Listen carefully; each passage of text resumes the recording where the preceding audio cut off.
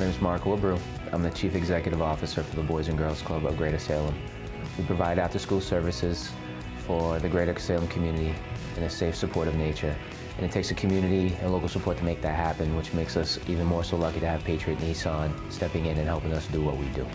Right now, Patriot Nissan is providing specials with the service department, which save you money and also donates money to the Boys and Girls Club that helps us do what we do.